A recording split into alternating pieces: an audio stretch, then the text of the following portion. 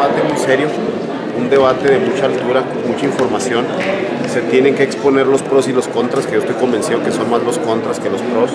Yo creo que nuestra sociedad y nuestra situación eh, geográfica nos lleva a una prohibición que yo creo que no podemos eliminarla porque estaríamos eh, diciéndole a la sociedad, diciéndole a nuestros jóvenes, diciéndole a nuestros niños que es normal consumir una droga.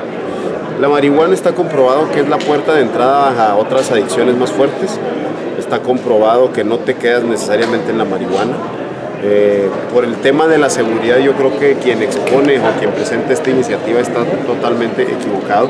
Presentan un modelo de legalización de la marihuana similar al de Uruguay, pero bueno, pues México no tiene la problemática que tiene Uruguay. Uruguay es un país de 3 millones de habitantes, México tiene 120 millones de eh, pues, habitantes. No tienen al vecino mayor consumidor del mundo que son los Estados Unidos.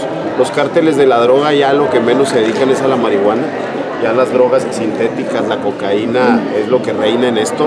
Y finalmente no vamos a lograr absolutamente nada y sí podemos echar a perder a nuestros jóvenes.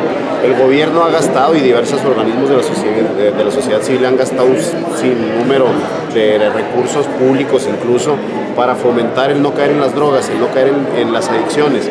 No podemos decirle a nuestros niños y a nuestros jóvenes que ya va a ser normal que vayan y compren un cigarro de marihuana a la tienda aunque la prohibición está para los menores, es como con el tabaco, los menores se en la forma de poderla comprar.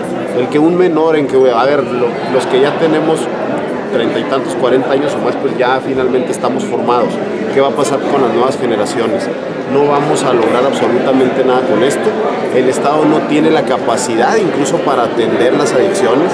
Tenemos que recordar que todos los centros de rehabilitación que existen son privados, son producto de un organismo de, la sociedad civil.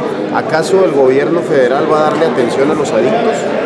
Es ilógico que fomenten que se consuma la marihuana con fines recreativos y a la vez atiendan las adicciones.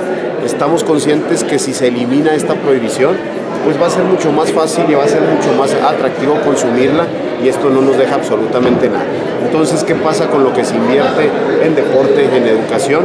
Si le vamos a decir a nuestras nuevas generaciones que es normal poder consumir eh, la marihuana y que no pasa absolutamente nada.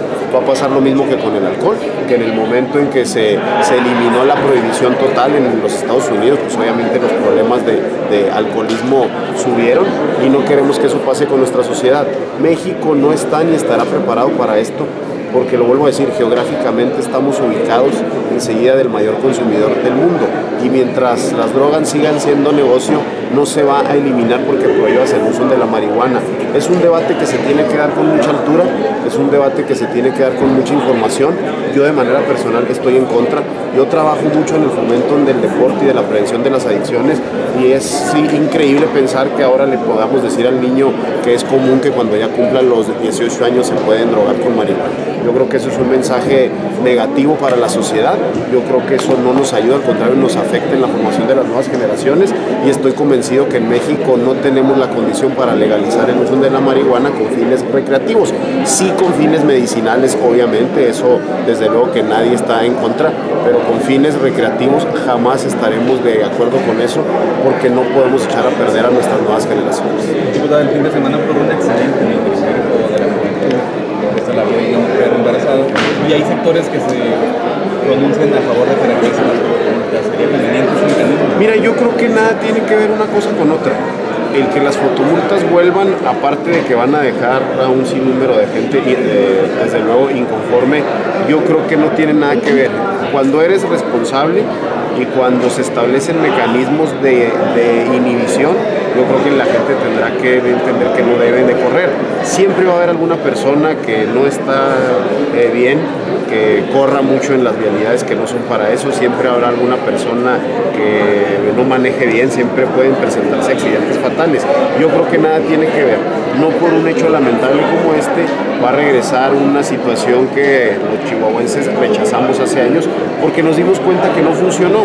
Y si lo que realmente queremos es que no corran en el periférico la dirección de vialidad, puede implementar otros métodos de inhibición para que la gente corra pero yo creo que el regreso de las fotomultas, desde luego que no es la solución y desde luego que estoy convencido que los chihuahuenses lo van a rechazar. ¿Cuáles serían las alternativas? Pues mira, pueden, pueden poner obviamente vigilancia permanente cuando mandan las volantas, como le llaman ellos, para reducción de, de, la pues, velocidad, yo creo que es algo sumamente positivo. Si ya sabes que va a haber una patrulla en tal punto, tú mismo le bajas, no necesitas poner una cámara que te va a sangrar la bolsa, que si el límite son 60 y vas a 61, te, te, van a quitar, te van a quitar 1.800 pesos. Yo creo que tenemos que tener mucho criterio para no afectar la, la bolsa de los chihuahuenses y el regreso de fotomultas creo que no es conveniente. Sí se pueden hacer muchas cosas para, para prevenir los accidentes, sí prohibir que la gente maneje en estado de pues, ebriedad, sí prohibir muchas cosas,